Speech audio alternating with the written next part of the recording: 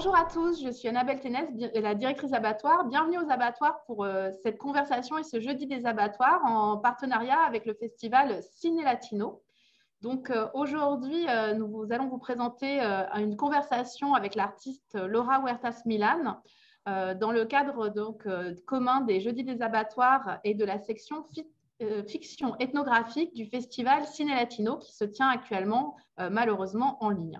Euh, donc, euh, au moment où je vous parle, vous pourrez découvrir pour 24 heures euh, trois des films de Laura sur la plateforme de Ciné Latino. Et nous allons partir de ces trois films pour discuter avec elle et également Amanda Rueda, qui, est, qui est parmi nous. Donc, merci à toutes les deux d'être là. Bonjour et merci. Bonjour. Donc, je vais faire quelques mots de, de présentation avant que l'on commence cette conversation. Donc, euh, Laura Huertas Milan, tu es euh, franco-colombienne. Tu as étudié à l'École des beaux-arts de Paris euh, et également à l'École du Frénois. tu as un doctorat de pratique entre l'Université de Harvard et les beaux-arts de Paris sur le thème des fictions ethnographiques qui sont, et donc ce thème et ce titre qui ont donné le sujet de cette conversation. Et ton travail a la particularité d'être montré aussi bien dans des festivals de cinéma que euh, dans des musées d'art moderne et contemporain. Et il a été montré à de très nombreuses reprises. Et donc, euh, pour ceux qui nous suivent, je vous rappelle que vous avez pu voir notamment le film Jenny 303 en 2017 lors de l'exposition aux abattoirs Medellin, une histoire colombienne. Euh, mais aussi le film The Labyrinth à AFIAC, le festival dont les, euh, abattoirs sont coproducteurs en 2018. Et que pour ceux qui euh, veulent en connaître plus sur ton travail, donc outre le passage de trois de tes films sur la plateforme de Ciné Latino pendant 24 heures, on peut retrouver une sélection sur le site Mubi et ton travail va être présenté d'ici quelques semaines lors de la Biennale de Liverpool à partir de mai. Et donc, euh, également avec nous, Amanda Rueda, qui est euh, maîtresse de conférence à l'Université euh, Toulouse, Toulouse de Jean Jaurès dans, la, discipline art et communication. Et donc, merci à, à, toutes les deux d'être parmi nous pour cette conversation. Et je vais donner la parole pour cette première question à Amanda. Bonjour, merci Annabelle, bonjour Laura. C'est un vrai plaisir de prolonger la conversation avec Laura qui a démarré déjà il y a quelques années, mais qui, a été reprise euh, au mois de novembre-décembre pour un entretien que vous pouvez retrouver tout sur la revue Cinéma d'Amérique latine qui vient d'être publiée. C'est une revue qu'on publie chaque année au Festival Ciné Latino de Toulouse dédié au cinéma d'Amérique latine. Donc, euh, Laura est, une artiste cinéaste et son travail est vraiment entre les arts et le cinéma, comme on bien pu le montrer à. Moi, j'aurais une, petite, une première question et sur cette rencontre qui me semble qui a été hum, possible grâce à son travail, sa théorisation autour de la fiction ethnographique, c'est-à-dire la, je ne sais pas comment l'appeler, une, une, approche, on va dire, à la fois des arts et du cinéma par le biais de la fiction et de l'ethnographie et cette rencontre entre les deux donc, euh, Laura, peut-être qu'à travers ce travail qui, qui, fait partie de ta deuxième série, donc il faudrait peut-être les situer. Et d'abord, c'était l'exotisme, un travail qui a été réalisé entre 2009 et 2012. Et après, tu arrives donc à fiction ethnographique avec ces trois films qui vont être diffusés donc euh, à cette occasion. Est-ce que tu peux nous parler de ça? Est-ce qu'il s'agit vraiment de... Est-ce que la, la fiction ethnographique, ça a été pour toi les moyens de faire rencontrer art et cinéma?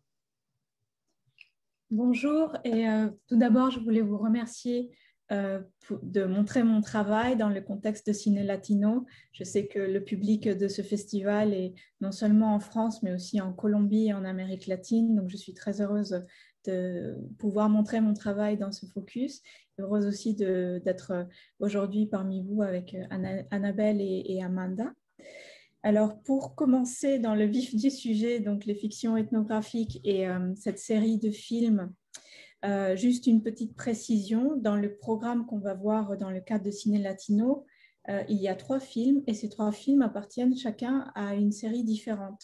Donc, concrètement, disons que c'est La Libertad qui appartient à la série des fictions ethnographiques et, les deux, le film Voyage en la Terre autrement dite appartient à la série sur l'exotisme et le film Gibier à la série sur le pharmacone.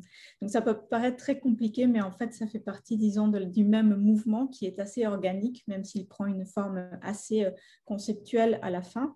Et effectivement, tout cela part d'une première série autour de l'exotisme, qui est une série qui m'a amenée vers le cinéma qui effectivement, comme tu l'as bien dit, Amanda, a commencé en 2009 et c'est une série où j'ai vraiment commencé à me poser la question de ma position entre la Colombie et la France et la façon dont je cherchais à m'intégrer à la culture et la société française, euh, les difficultés que je trouvais dans ce processus, qui était quand même un processus de très longue date, puisque euh, j'ai une éducation française depuis euh, très, très, très petite, en fait, depuis que je suis enfant. mais en tout cas, cette série sur l'exotisme s'est beaucoup développée à partir des récits de l'histoire coloniale entre de l'Europe et des Amériques et comment les Amériques ont été décrites par euh, l'Europe et quels sont les vestiges de ces descriptions et de cette, de cette rencontre extrêmement violente qu'il y a eu lieu il y a, il y a plusieurs siècles. D'ailleurs, le film Voyage en la Terre autrement dite, qui fait partie donc de cette série sur l'exotisme, porte cette réflexion euh, en lui, puisque dans ce film, j'ai voulu associer un jardin tropical qui est dans la ville de Lille, euh, la serre équatoriale du Jardin des Plantes, avec des textes littéralement liés à la période de la colonie des Amériques.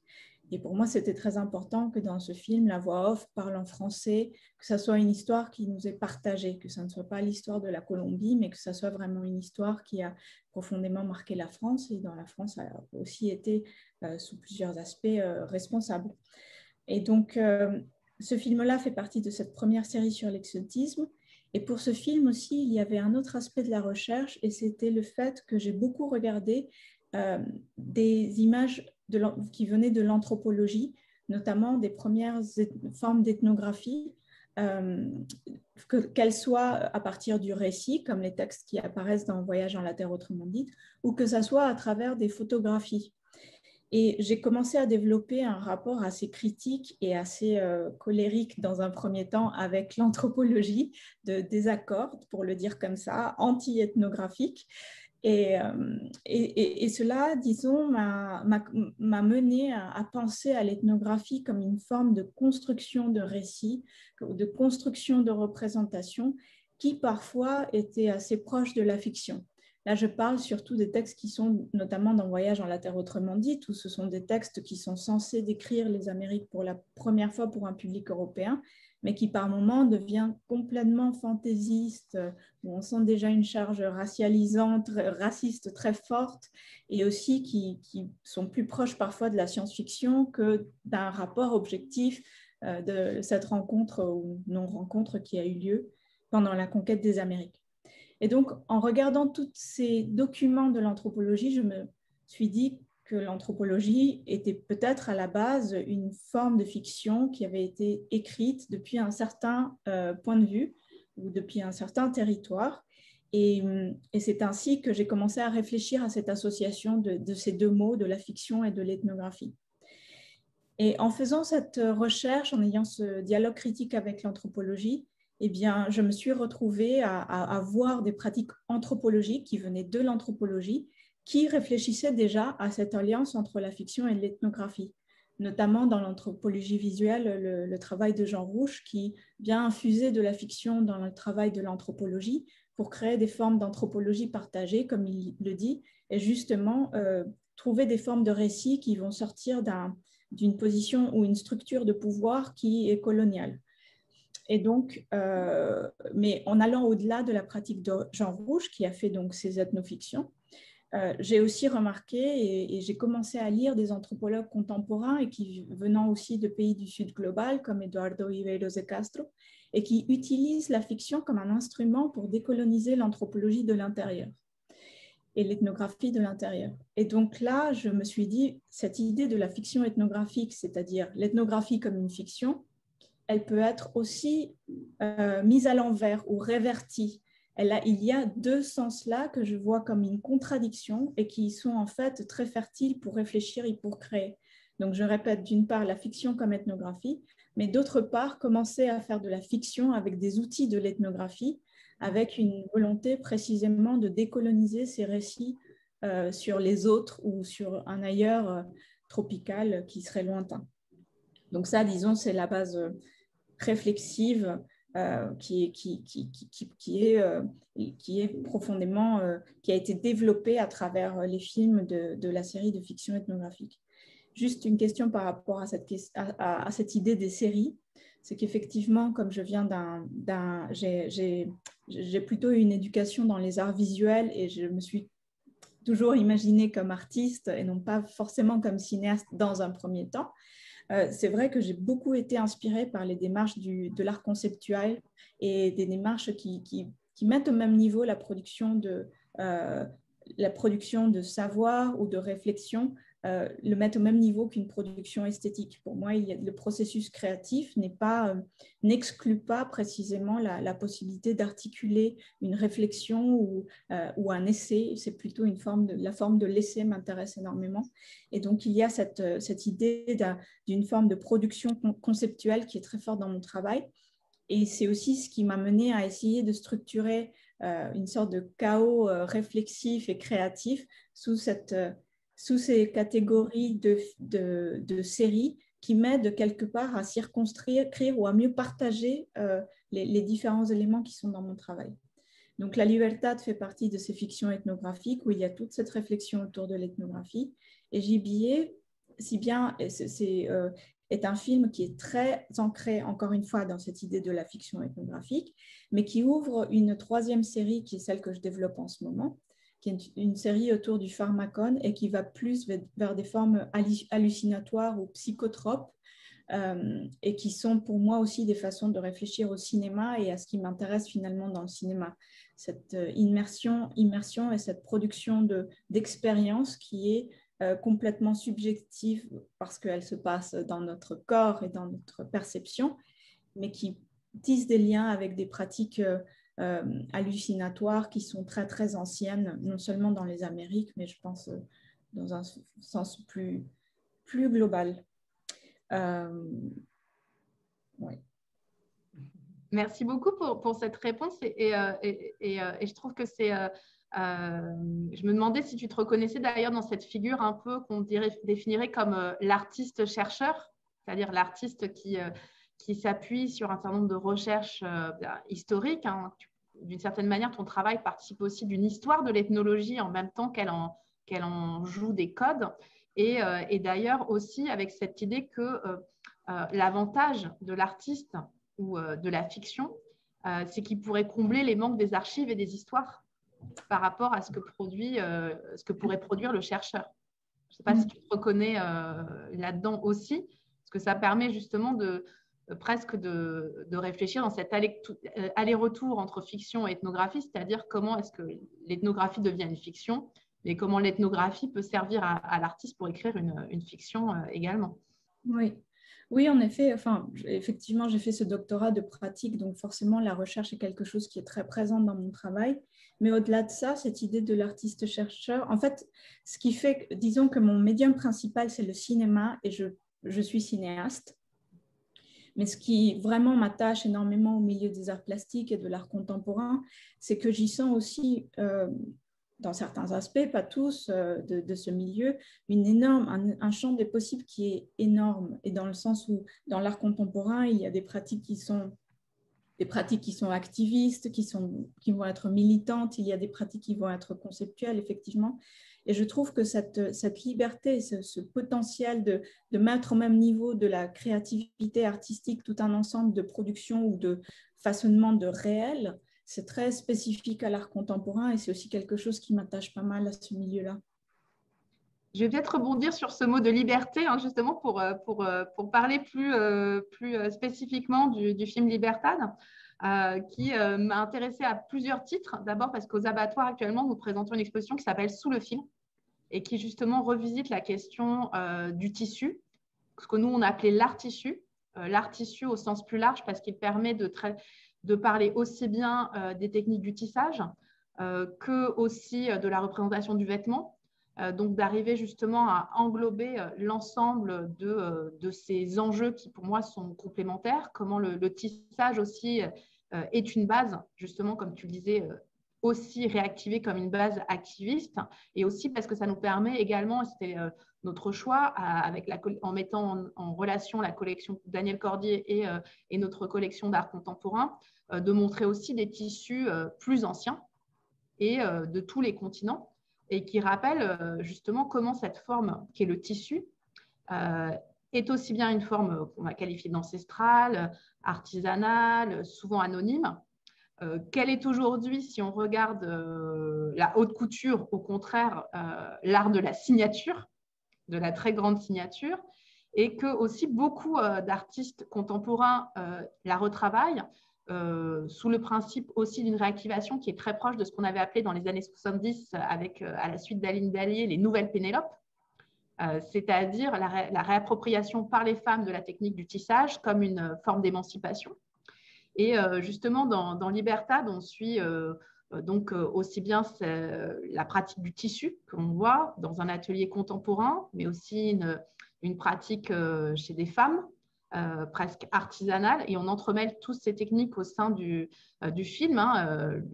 Abattoirs s'ouvre sur une broderie de Teresa Margoyas qu'elle a réalisée dans un atelier avec des personnes transgenres brésiliennes en écho euh, au, meurtre de la, de la euh, Priscilla.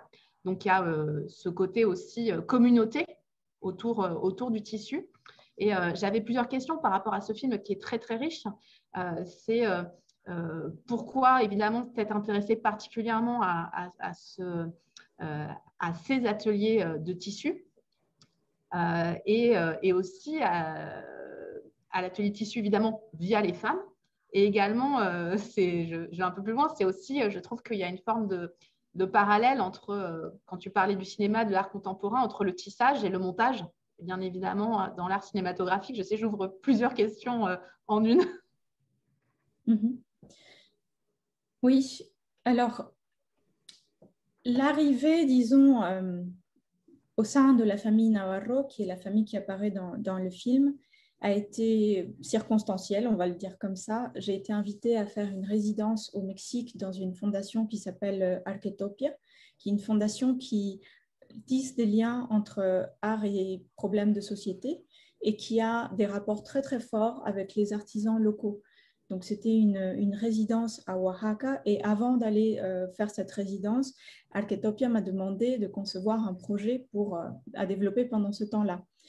Et j'étais déjà en train d'avoir toute cette réflexion autour euh, des images de l'anthropologie euh, et puis aussi le fait qu'Oaxaca est une, Oaxaca est une, euh, est une des régions du Mexique, mais aussi au monde où il y a le plus de langues différentes puisqu'il y a énormément de communautés indigènes euh, dans cet endroit-là.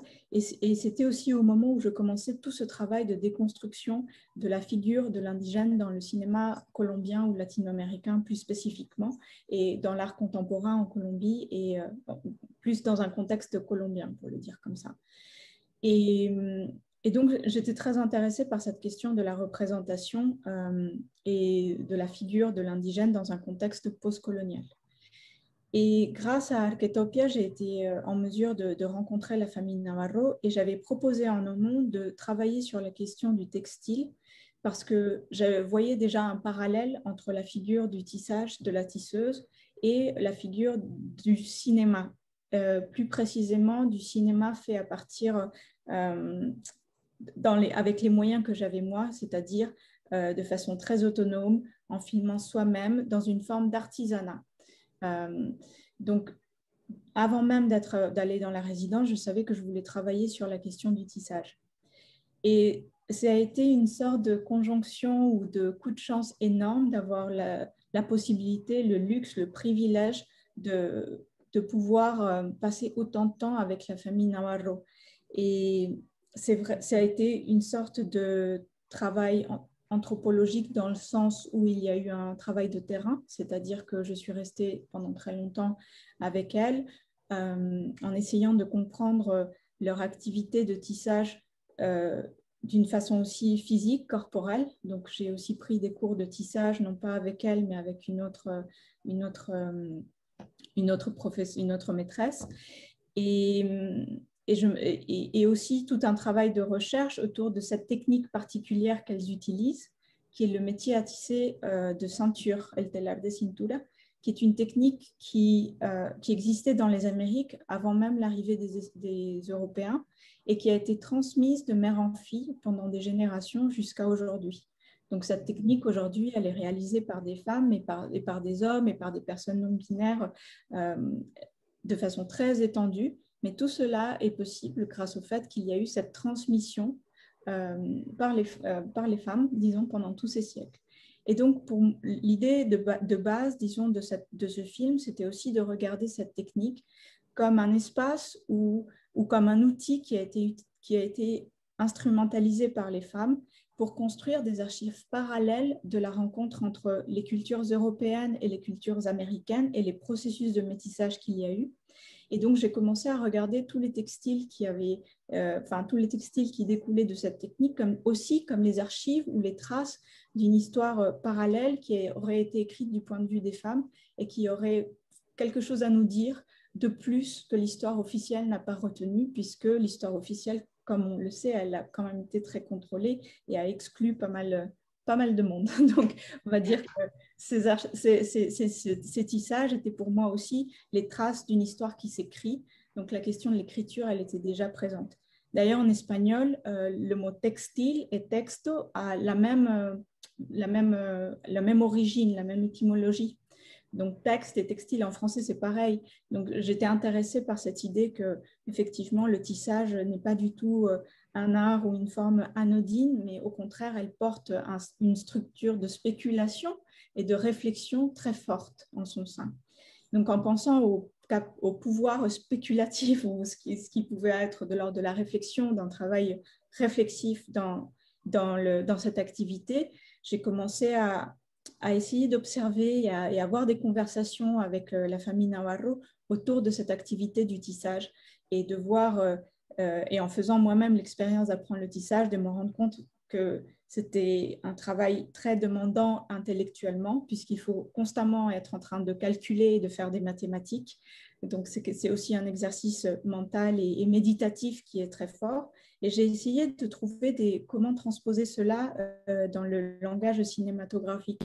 Donc, je pense que la question du montage, elle est déjà présente dès le, tournage et que ce parallèle entre l'activité du tissage et l'activité euh, de, de, mon activité d'artiste était présente avant même de rencontrer la famille. Donc, pour, la, pour donner, disons, c'est un peu euh, quelques éléments de contexte de comment j'ai rencontré la famille euh, Navarro.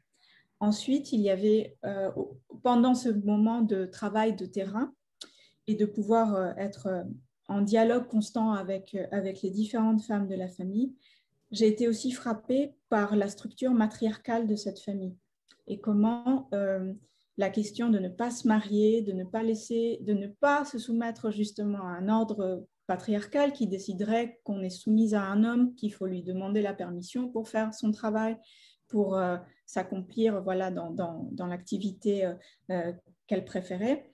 Elles, se sont très sciemment, et je pense que le film, euh, elles, le disent dans le film, elles se sont euh, mises à l'écart de cette structure patriarcale.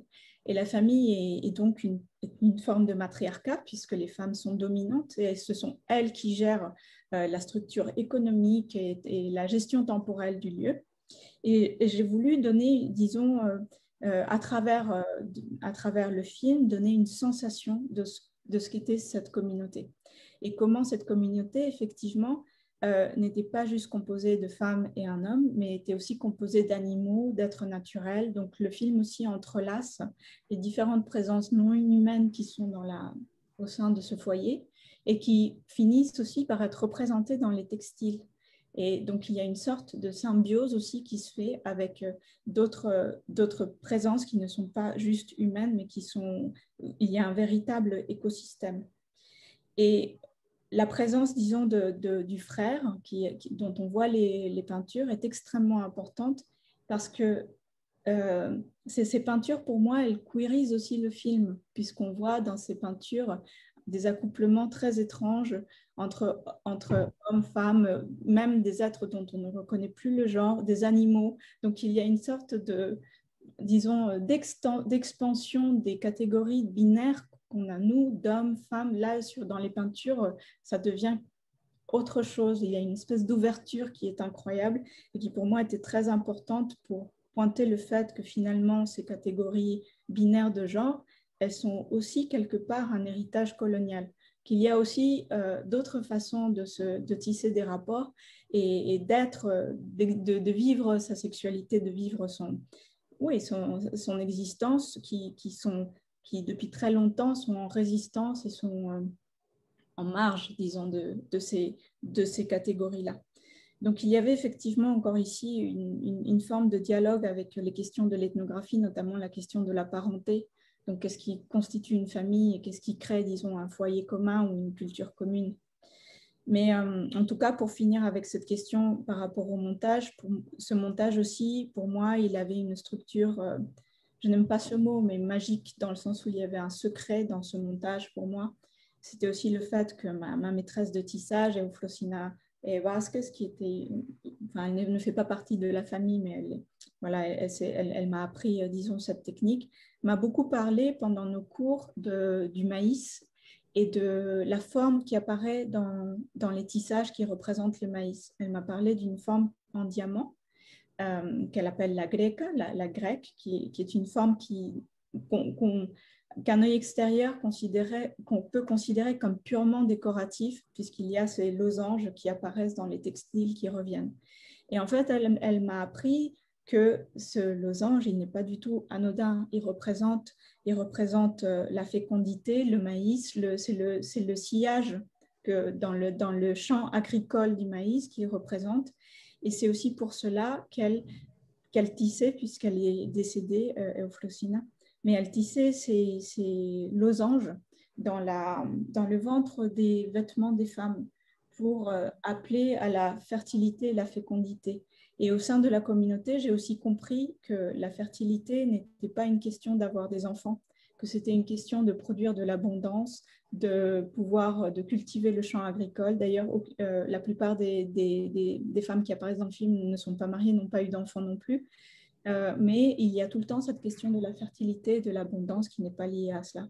Et le film, pour moi, j'ai essayé de, de reconstruire de façon spéculative un montage qui serait en losange ou qui, ou qui, serait, qui suivrait une forme géométrique. Donc il y a tout un système interne de rebondissement et de d'écho qui sont formels et qui pourraient peut-être être mis dans une frise. J'ai vraiment imaginé ce montage qu'on pourrait le représenter graphiquement comme une sorte de frise.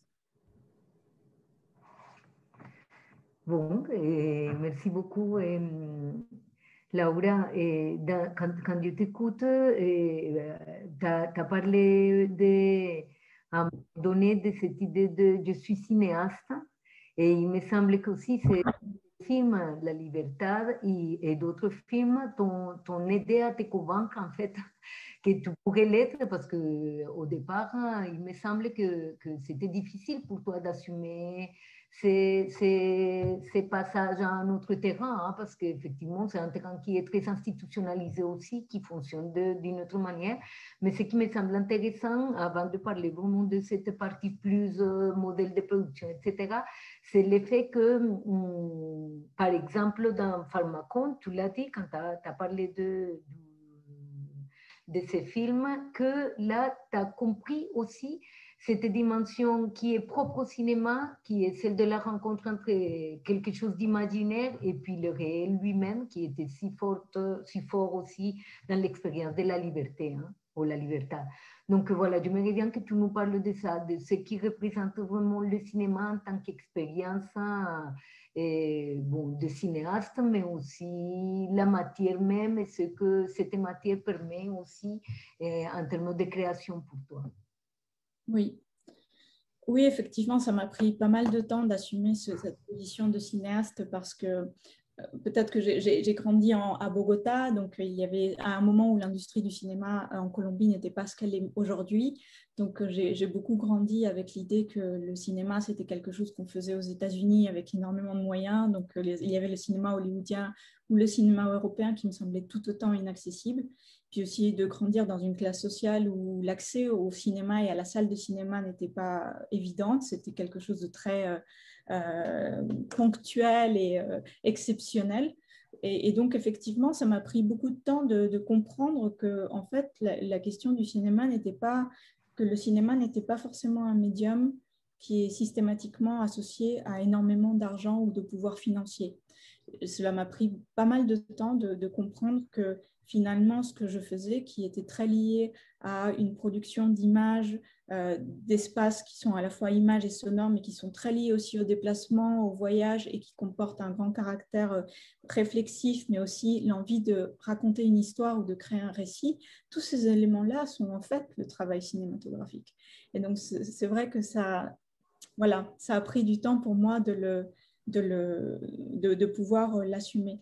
Et dans cette, disons, dans cette passion que je me suis euh, découverte pour le cinéma, cette cinéphilie qui a peu à peu grandi en moi, puisque j'étais cinéphile un peu sur le tard, je crois, par rapport à d'autres cinéphiles qui, depuis l'enfance, sont complètement dedans je me suis rendu compte que ce qui me plaisait le plus dans le cinéma, c'était cette capacité d'être à la fois dans l'évasion et la présence. Et ce rapport très paradoxal du corps dans l'expérience cinématographique, où on est complètement euh, halluciné, presque drogué, intoxiqué par ce ce que l'on voit, et en même temps, on se sent intensément présent. Et d'ailleurs, je, ça me manque énormément d'être dans un cinéma avec des sentir les corps des autres personnes. Euh, les on, le, on, ne, dialogue pas, mais on sent ces présences et il y a quelque chose de chimique qui se passe aussi. Donc on est extrêmement présent sensoriellement. Et c'est un régime d'attention très particulier aussi, puisque ça se fait dans le temps. Donc c'est jamais des choses qui se consomment vite, mais il faut vraiment s'installer dans la durée et laisser les choses advenir. Donc tout, tout ce, c'est ces capacités du médium qui m'ont le plus attaché finalement à la forme cinématographique. Et en réfléchissant à ça, euh, j'ai trouvé beaucoup de liens avec cette idée du pharmacone, c'est-à-dire une entité qui est à la fois un poison et un remède. Et c'est vrai qu'on parlait avant la rencontre d'un aspect politique très important ou présent dans ma pratique c'est vrai que j'ai, et aussi toutes les recherches autour de l'anthropologie et ses, rapports avec le colonialisme, j'ai bien remarqué que le cinéma avait été utilisé à des fins extrêmement violentes. Donc il y a aussi dans le cinéma, disons, cette capacité d'être euh, galvanisant, d'être, euh, d'être aussi aliénant, mais aussi cette capacité que j'ai ressentie moi et qui, et qui m'a beaucoup marqué et touché de proposer des, espaces de soins et des formes parfois de cure de certaines blessures. Dans mon cas, je pense que c'était très lié à, la blessure coloniale, comme l'appelle Walter Mignolo, qui est euh, la, blessure coloniale, c'est cette idée que euh, les personnes qui... C'est un sentiment d'infériorité qui a été infusé par une culture euh, coloniale, en fait. Donc, c'est vrai que ça, c'est très présent dans mon travail et dans mon, dans mon cinéma. J'essaye aussi de, de parler de, de, cette de cette blessure, de cette blessure coloniale. Et donc, effectivement, le, finalement, je, je, crois que je consacre la plupart de mon temps aujourd'hui euh, à développer mon travail dans le cinéma, puisque je cherche aussi un état altéré, en fait, un état, un état altéré de perception. Et, et, le cinéma que je produis aussi, euh, je le sens dès le tournage que ça induit un, un état perceptif qui est similaire vraiment à quand on prend des drogues ou qu'on a des processus de, rituels ou, de vision. Euh, et c'est ça qui m'intéresse, je crois, dans, dans ce format euh, comme, comme expérience, pour le dire comme ça. D'ailleurs, dans la Libertad, euh, dans la il y a aussi cette idée d'un rythme qui est qui voilà qui induit petit à petit quelque chose et euh, quand je parle d'état altéré aussi, euh, un dernier point, puis après je laisserai la parole, c'est que quand je parle d'état altéré, euh, souvent, je, j'essaye de prendre distance par rapport à la, caricature des trans qu'on a vu au cinéma, et notamment dans le cinéma anthropologique où les gens voilà, bavent ou voilà, convulsionnent. Ou, bon, bref. Pour moi, état altéré, il y, a, il y a beaucoup de zones de gris et de nuances. Par exemple, j'ai, j'ai j'ai essayé, j'ai fait l'expérience de l'hypnose, par exemple, j'ai eu des conversations autour de l'hypnose. Et l'hypnose est aussi un état modifié de la perception. Sauf que quand on est en transe, dans la transe hypnotique, euh, il n'y a pas de convulsion, il n'y a pas ces espèces de clichés de spectacles, de, de, voilà, de, de, de transe, mais c'est quelque chose qui se passe, qui, qui, qui permet d'être extrêmement présente au moment, à l'instant, et avoir une forme d'écoute sensorielle qui est aiguë et, comment dire, augmentée. Et c'est vrai que depuis le, dans le tournage de La Libertad, ça c'était quelque chose que je sentais beaucoup, cette espèce de euh, d'intense présence qui fait que quelque chose d'aussi petit qu'un tissage peut avoir lieu que je peux le regarder et que ça peut être, devenir un événement. Et c'est quelque chose qui est présent dans Gibier aussi, que j'ai réalisé carrément en état altéré, puisque j'ai, on m'a proposé de manger euh, cette poudre faite à base de feuilles de coca dans des conditions qui étaient celles d'un rituel et où je ne me voyais pas euh, le refuser. Et j'avais aussi envie de partager cette expérience et le film a aussi été créé dans cet état altéré. Ce qui fait que certains plans du film, pour moi, sont difficiles à expliquer parce que je sais que c'est la plante qui l'a infusé et, qui, et que quelque part, il y a aussi une forme de collaboration avec ça, en fait, avec euh, cette autre voix. Donc, je, crois que pour moi, le cinéma est aussi euh, un médium qui est un seuil et c'est ça qui m'intéresse aussi. Mais donc, cette expérience cinématographique, elle passe aussi par la technique hein, que, et la relation que tu peux avoir avec la technique. Notamment, je, je reviens sur ta réflexion autour de l'utilisation de la caméra Boles que tu partageais donc comme expérience avec la cinéaste Marta Rodriguez, et colombienne elle aussi, documentariste, et, et ce rapport au corps et au temps que la caméra elle peut te permettre et qui, te permet aussi de faire une médiation avec l'environnement et puis les personnages avec lesquels tu es en train de faire le film. Et voilà, qu'est-ce que, qu'est-ce que tu pourrais nous dire de ça et aussi du fait que cette expérience, elle relève aussi du lieu d'énonciation parce que pour toi, c'est quand même une, réflexion, et je pense que c'est une réflexion très, très présente dans, chez les cinéastes latino-américains, et que le fait de venir plutôt vers le cinéma, plus vers le cinéma, ça transforme en quelque sorte ta réflexion sur les lieux d'énonciation. Est-ce que tu pourrais nous parler de ça, la technique et cette idée de lieu d'énonciation qui t'évoque aussi à plusieurs reprises? Oui, oui, oui, je pense aussi qu'il y a effectivement dans mon attachement au médium cinématographique, il y, a évidemment la question de la technique, pas seulement au moment, le rapport avec la caméra, qui effectivement pour moi devient de plus en plus physique et corporel à mesure que mes films avancent. Je crois que ça se voit entre Voyage dans la Terre autrement qui est le premier film que j'ai fait, réalisé en collaboration avec une très grande équipe et avec des machines, etc à euh, Gibier qui a été fait avec euh, une équipe de trois personnes euh, où on est dans une forme de danse autour de, ce qui se passe pendant qu'on est en train de tourner. Donc effectivement, il y a ce rapport avec la technique. Et récemment, en fait, pour un de mes des cours que je, que je donne, parce que je suis aussi enseignante, j'étais en train de lire un texte de Jean Rouge qui parle justement, qui s'appelle Caméra et l'homme, l'homme et la caméra. Donc déjà, bon, l'homme et la caméra, c'est, enfin, bien sûr, c'est un fondement donc de, de l'anthropologie visuelle, mais aussi du cinéma. Mais c'est vrai que c'est... Euh, enfin, et, dans ce texte, Jean Rouche, il, parle beaucoup de, son rapport avec euh, l'objet, avec l'outil technique, avec le fait que pour lui, le, rapport qu'il peut avoir avec cet outil est similaire au rapport que peuvent avoir les personnes qui sont en transe avec l'objet de la transe. Et, c'est de là que vient aussi son idée de la ciné-trans. Et, tout part en fait de ce rapport très spécifique avec la caméra, avec cette machine. Avec, euh, donc il y a un rapport animiste avec, euh, avec la machine. Et ça m'a beaucoup marqué parce que je me suis dit, oui, je, ressens ça aussi, c'est-à-dire que cette machine, euh, dès qu'elle est dans la pièce, pour moi, le réel change complètement. Et je pense que ce réel change aussi pour les personnes qui se sentent filmées. D'ailleurs, dans un de mes films, j'apparais devant la caméra aussi et je sais bien que on se sent transformé par la présence, par le fait d'être filmé. Euh, et, donc, effectivement, je pense qu'il y a ce rapport à la technique, mais plutôt que de dire qu'on infuse la transe dans, le cinéma, j'aime bien penser au fait que les formes de transe ou d'hallucination étaient déjà présentes avant le cinéma et que finalement le cinéma nous reconnecte avec ça. Donc ce n'est pas une chose qui a été infusée dans cette technique, mais cette technique pour moi est le prolongement de ces autres techniques de vision et de rêve et d'hallucination collective. Et donc c'est vrai qu'il y, a, il y a ce rapport à la, caméra. Mais aussi, je pense qu'il y a quelque chose de, politique dans ce rapport, euh, disons, à la technique. C'est que plus j'avance et plus je sens que c'est important d'avoir un, pour moi, c'est important d'avoir un rapport artisanal au médium. C'est-à-dire que le, film, dès le moment du, du, tournage, est imprégné de mes gestes, de ma tactilité, de mon rapport sensoriel aux choses. Que bien entendu, il y a une construction intellectuelle qui est très très forte, euh, et que je revendique aussi parce que je pense que l'art est aussi un lieu où, on apprend à penser et qui nous émancipe aussi hein, intellectuellement parlant.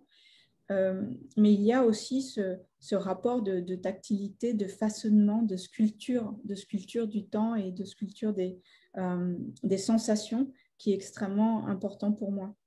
Et effectivement, c'est, je pense que c'est entre ces deux aspects, c'est-à-dire un, esprit critique qui, ne s'arrête jamais, et euh, un rapport euh, corporel, perceptif qui cherche aussi à se développer, que je trouve un lieu d'énonciation ou un lieu d'où, à partir duquel faire les films.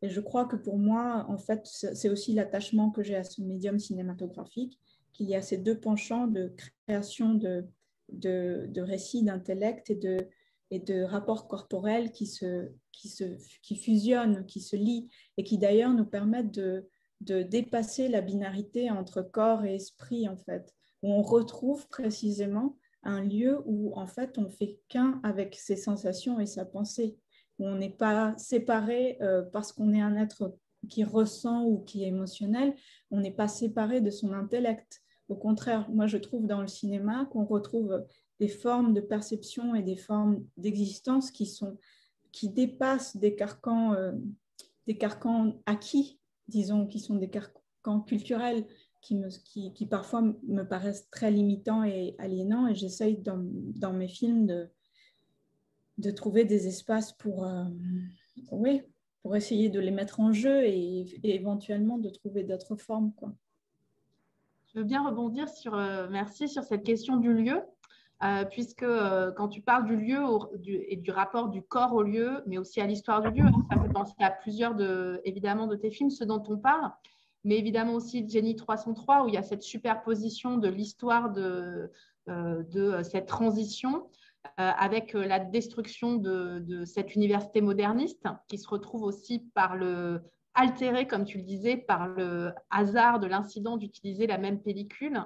Euh, je pense aussi aux différents lieux euh, que tu montres justement euh, dans, dans ces films dont on a parlé, hein, le, lieu aussi de, de, la forêt, le lieu de la plantation, le lieu du ranch aussi, dans, dans du ranch presque comment dire, presque nouveau riche dans The Labyrinth, et, et, aussi comment ce rapport au, au lieu euh, construisent ces personnes. Et, euh, et, quand on voit justement tes, dernières, euh, tes, derniers films et qu'on les rapporte aussi à tes, à tes tout premiers, je vois revenir aussi cette question du, lieu, du lieu de la nature, revenir aussi cette question de la plantation et aussi de, de, cette question de la plantation sur plus, sous plusieurs angles, hein, et justement, et sans, sans nier toutes les, tout ce qui va avec la question de la plantation, hein, la question économique avec la question de la drogue, la question des savoirs ancestraux, la question de la, protection, euh, la question de, cet exercice libre du lieu. Euh, est-ce que pour toi, cette question du lieu, elle est aussi, euh, d'une certaine manière, aussi centrale que celle du portrait? Parce que souvent, le portrait et lieu sont, complètement imbriqués dans, j'ai l'impression, dans, dans ton cinéma. Oui, oui, effectivement, je crois qu'il n'y a pas. Mais ça, c'est quelque chose de très intuitif. Ce n'est pas quelque chose que j'ai fait consciemment dès le début, mais dès le début, euh, j'ai eu un rapport avec euh, l'architecture et les espaces qui est profondément affectif, qui est profondément affectif et qui donne lieu d'ailleurs au film. Par exemple, Voyage en la Terre autrement dite, c'est aussi toute cette euh, ce rapport très compliqué avec l'histoire des, jardins botaniques qui sont des lieux que j'aime beaucoup par ailleurs, mais dont je connais l'histoire coloniale et donc ça me crée plein de sentiments très conflictuels. Donc c'est toute cette émotionnalité-là qui me mène à faire cette série dans des euh, jardins tropicaux, dans des serres équatoriales, essayer de percer la belle image pour faire ressortir toute la complexité de ces sentiments. Euh, en conflit. Quoi. Donc dès le début, je crois qu'il y a cette question des, espaces et des architectures comme, n'étant pas forcément, n'étant pas des espaces objectifs, mais qui sont des espaces que je raconte et donc qui forcément sont l'expression d'un état émotionnel ou affectif.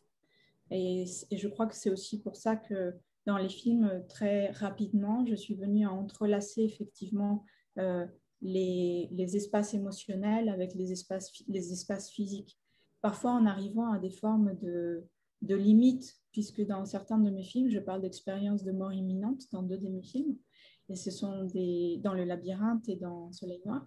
Et ce sont des expériences qui sont a priori sans lieu, puisque ce sont des lieux virtuels où ça se passe. C'est le seuil entre la vie et la mort, c'est dans la tête d'une personne ou son imaginaire, sa projection, ou un espace virtuel auquel nous, on n'a pas accès. Donc ce sont des espaces qui n'ont pas de lieu terrestre, pour le dire comme ça. Euh, donc aller pousser cette, ce lien entre l'émotionnel et l'espace physique, jusqu'à la limite de jusqu'à la limite, ce qui est le cas de ces, de ces euh, expériences de mort imminente. Et, et c'est aussi lié, je crois, à nouveau avec cette idée de, je crois que pour moi, le cinéma, et Amanda le disait tout à l'heure, c'est aussi une façon pour moi de, de créer des relations qui autrement sont impossibles. À travers le cinéma, j'ai l'impression que j'ai la possibilité ou parfois le privilège, ça, ça crée des, situations de réel où je peux coexister de façon éphémère avec des communautés qui ne sont pas la mienne. Et, le, rapport à travers le cinéma, qui est un rapport très spécifique, nous permet de tisser une relation qui est assez unique et qui n'existerait pas sans ça. Et donc, euh, c'est vrai que euh, considérer le cinéma comme un lieu de rencontre et de rencontre avec d'autres personnes euh, m'a aussi fait entrelacer, disons, ce rapport intime avec d'autres personnes avec les lieux qu'on occupait ou les lieux dans lesquels on déambulait ou les lieux qui sont à proximité. Donc il y a aussi dans le cinéma, je pense, un dépassement entre, entre l'espace intérieur et l'espace extérieur, mais une sorte de fusion où tout d'un coup c'est un espace tiers où les deux choses sont, sont entrelacées. Et ça, c'est effectivement quelque chose d'important. Et enfin, la question du portrait aussi, elle est aussi beaucoup venue avec euh, ce, dialogue critique avec l'ethnographie, de voir euh, dans, les images de l'ethnographie euh, à ses débuts toutes ces personnes qui regardent à la caméra et qui sont silencieuses, dont on ne connaît pas les noms ni les prénoms, dont on ne sait pas d'où ils, où, où ils, viennent, où elles viennent, et, et qui sont devenues anonymes. Donc il y a souvent dans, mes films une volonté de, créer un portrait et en réfléchissant l'anonymat d'une autre façon. Parfois, les, personnages peuvent être anonymes ou pas sous anonymat, euh, comme une forme de protection ou de résistance, mais non plus comme une forme de déshumanisation, si je me fais comprendre. Donc effectivement, la question du portrait, elle est très, très importante jusqu'à presque, justement, puisque souvent quand on parle de la question de l'énonciation et d'où on parle, on, se pose toujours la question de comment est-ce que soi-même on s'identifie, jusqu'au au fait que dans Soleil Noir, euh, c'est euh, ta tante, Antonia, ta mère et toi-même, donc euh, qui, d'une certaine manière, vous ouvrez aux questions, enfin, au regard des autres, sous l'angle de la question de la dépression, aussi de l'histoire familiale, de, et avec ce choix aussi presque de te mettre en sujet, justement de créer ce sentiment d'égalité avec, avec ceux que tu filmes? Parce que cette question de l'égalité, elle apparaît très clairement quand tu parles aussi des fictions ethnographiques, de cette inégalité historique de l'ethnographie. Mm. Je oui, c'est une sorte d'utopie parce que je, je pense qu'aucun film ne réussit cette égalité. En tout cas, moi, je, je ne l'ai pas réussi encore. C'est une sorte d'horizon du travail qui, je ne sais pas si elle aura lieu un jour. Pour moi, on est, euh, la, question d'une égalité comme ça, universelle, n'est pas réelle pour moi. Je ne l'ai jamais vécue. Euh, mais et, souvent aussi, euh, les films, par exemple, dans le film où, j'apparais avec ma famille, euh, ma tante euh, dans la vie réelle ne s'appelle pas Antonia. Antonia est un personnage de fiction, donc elle prête son corps et son histoire pour, euh, pour ce personnage tiers qui est un personnage de fiction et qui est à la fois réel et, autre chose. Et, je crois que ça dit pas mal aussi une question de camouflage que, qui est pour l'instant pour moi encore pas forcément qui ne peut pas forcément se transmettre tout entière à travers les mots parce qu'il y a beaucoup trop de choses entrelacées là-dedans. Mais il y a effectivement cette question du camouflage, de comment on présente une histoire qui nous concerne profondément et comment on la rend publique, on peut la partager, on peut en faire un sujet de débat collectif euh, sans forcément devoir euh, se sacrifier, sacrifier son intimité ou son, sa privacité ou sacrifier sa personne dans, dans ce processus. Donc il y a des pas mal de stratégies de camouflage dans mes films, euh, que ce soit lié à moi-même ou que ce soit parfois lié aux personnes que je filme dans le labyrinthe, je crois que c'est assez. Il y a tout ce jeu autour du camouflage de ce narrateur qui est témoin d'une période historique, mais apparaît très peu dans le film, dont on a des, extraits de voix extrêmement intimes, mais qui finalement parfois aussi euh, se dérobent. Quoi. Il ne peut jamais être capté, jamais être complètement contrôlé. Donc il y a aussi, je pense, euh, question de, transparence, mais jouer aussi avec cette transparence sachant que la transparence absolue, elle est violente aussi. Donc, euh, essayer de trouver des stratégies d'exposition de, et, de, voilà, et de repli. Bon, l'évocation des de Soleil Negro me permet aussi de, revenir vers presque la dernière question, j'imagine, qui est celle de de, du politique dans ton travail qui, et qui est quand même très attaché euh, justement à, à ton expérience cinématographique, puisque le cinéma, bon, c'est une expérience hein, de terrain, c'est une expérience aussi pour le spectateur lui-même, mais c'est aussi un espace public, comme tu l'appelles, et c'est justement sa puissance de s'adresser à beaucoup de gens et que dans, ces, dans cette conscience hein, qui est la tienne, hein, de, t'adresser à beaucoup de gens, c'est là où tu vas aussi retrouver une dimension politique beaucoup plus forte, puisque tout cet intérêt par l'image, par exemple, et va finalement se traduire dans une sorte de, contre-pouvoir, comme toi-même tu l'as nommé en, quelque sorte, puisque on est vraiment dans une démarche qui s'éloigne d'un regard de l'histoire officielle, d'un regard hégémonique aussi euh, du réel. Et voilà, c'est travail politique, il me semble que c'est intéressant que tu, puisses nous le partager ici. En tout cas, cette conscience politique, cette, envie aussi de t'attacher, cette nécessité, désir de t'attacher à un cinéma du politique. Oui. Euh, oui, la question du politique, je trouve que c'est toujours compliqué de, pouvoir en parler parce que je pense qu'il y, a, y a quand même une différence entre activisme et art, dans le sens où je ne prétendrai pas être euh, au même niveau d'implication politique que quelqu'un qui fait de l'activisme. J'ai beaucoup trop de respect pour ce que ça implique et les dangers, les sacrifices que ça implique pour prétendre être à la même place. Donc pour moi, la question de l'art politique, elle est toujours peut-être même en, deçà d'une partie politique que pour avoir euh, un militant, un activiste euh, ou une activiste qui littéralement donne leur vie, et en Colombie on le sait, euh, donne leur vie pour une cause. Donc je crois que c'est aussi pour ça que parfois c'est pour moi difficile, c'est une question qui est difficile à, réfléchir. mais en y réfléchissant, justement, je me rends compte que le politique, pour moi, se passe beaucoup au niveau de la représentation. Ça ne veut pas dire que quand je parle de sujets politiques, ça devient une métaphore coupée du réel, mais c'est juste qu'il y a pas mal de situations qui affectent notre réalité partagée, qui sont de l'ordre de l'image ou de la représentation. Et, je pense que c'est là mon terrain d'action, c'est ce terrain d'image et de représentation où, je décide, disons, de, venir euh, euh, lutter ou créer une sorte de bataille.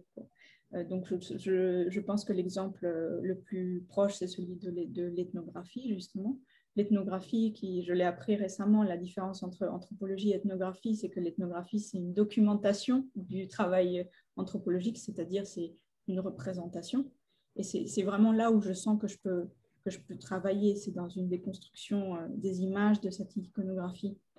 Et c'est vrai qu'aller vers le cinéma a été pour moi un pas assez important dans le sens où j'ai pris conscience que si bien euh, je serais ravie qu'un jour mes œuvres fassent partie du marché de l'art et que ça soit euh, un truc incroyablement commercial, pourquoi pas, mais en tout cas, ce n'est pas le cas de mon travail parce que précisément, ça parle de, je pense que ça parle de sujets qui sont des sujets qui sont de l'ordre du collectif, qui sont des sujets qui ont besoin d'être débattus, qui appartiennent plus à un espace public qu'à un espace qui serait façonné autour d'un collectionneur qui aurait euh, ses œuvres pour son usage ou un usage plus restreint. J'ai l'impression que les questions que j'aborde et le public à qui je m'adresse est un public qui, qui est plus large. Et pour moi, c'est très important que les films puissent, euh, puissent voyager et circuler dans plusieurs, dans, plusieurs, euh, dans plusieurs pays, dans plusieurs contextes et que les gens se les approprient euh, de façon différente et qu'ils puissent les, débattre les, les euh, oui, et tisser des conversations autour de ça. Donc effectivement, il y a un moment aussi quand on s'adresse à un public euh, large comme ça, on crée des formes de pouvoir, je ne sais pas comment on dit ça en français, soft power peut-être, des pouvoirs plus doux, je ne sais pas comment on le dit exactement en français, mais c'est un peu comme les médias par exemple, ils créent des formes de contre-pouvoir, c'est des formes de contre-pouvoir qui agissent à travers la représentation.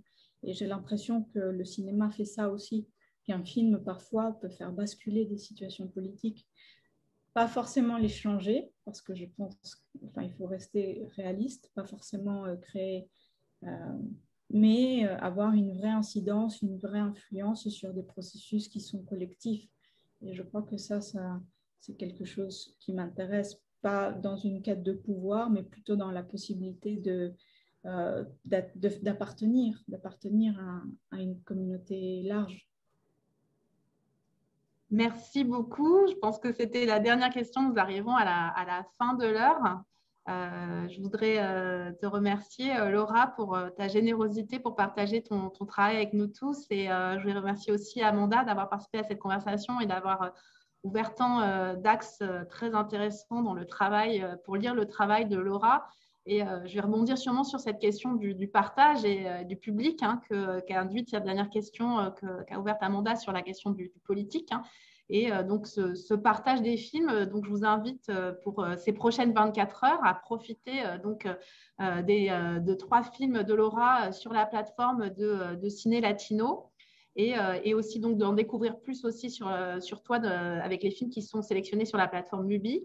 Et donc, euh, je vais vous remercier à toutes les, deux pour, pour cette conversation et remercier l'ensemble de l'équipe des abattoirs et l'ensemble de l'équipe de Ciné Latino d'avoir permis cette conversation malgré tout de se tenir. Et, donc, bonne découverte à tous des, des films de Laura Huertas Milan. Merci, merci à tous et à toutes.